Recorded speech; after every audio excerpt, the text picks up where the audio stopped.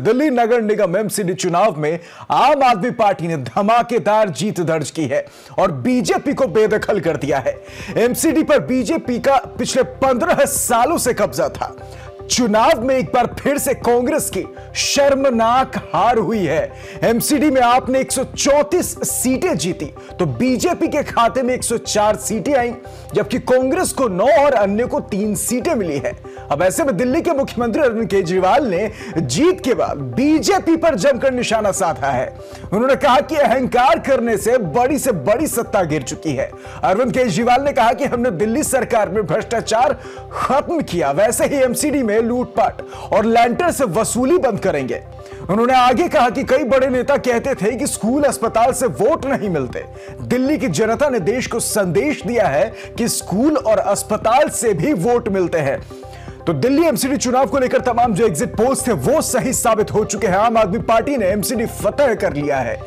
पिछले पंद्रह सालों से बीजेपी का एमसीडी पर कब्जा था। अब सत्ता से बेदखल बीजेपी को करते हुए आम आदमी पार्टी जो है, वो एमसीडी के सत्ता में काबिज हो चुकी है।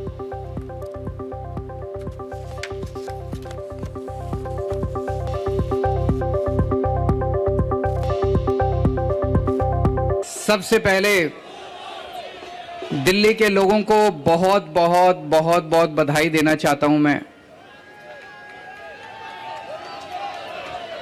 इतनी इतनी बड़ी जीत के लिए, इतनी शानदार जीत के लिए, इतने बड़े बदलाव के लिए, इतने बड़े परिवर्तन के लिए मैं दिल्ली के लोगों को बहुत बहुत बधाई देना चाहता हूँ। सभी पार्टियों से कि बस राजनीति आज तक की थी। आज तक जितनी राजनीति करनी थी, कर ली। अब अपने को सबको मिलके काम करना है, सबको मिलके दिल्ली ठीक करनी है। इसमें मैं बीजेपी का भी सहयोग चाहता हूँ, इसमें मैं कांग्रेस का भी सहयोग चाहता हूँ, मैं सबका सहयोग चाहता हूँ। सबके सहयोग से हम दिल्ली को ठीक करेंगे। केंद्र सरकार का सहयोग भी चाहिए।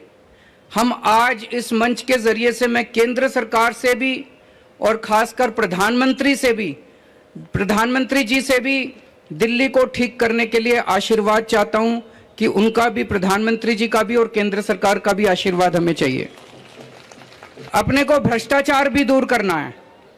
अभी तक जो सारा सिस्टम चल रहा था, लूटपाट का, लेंटर पे पैसे लेने का, ये सब खत्म करना है अब।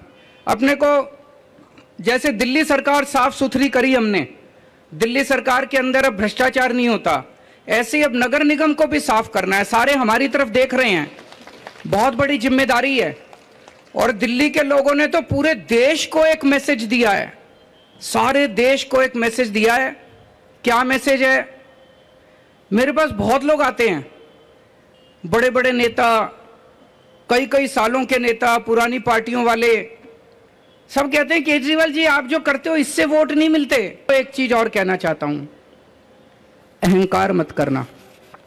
बड़े बड़े सत्ता गिर गए हैं अहंकार से।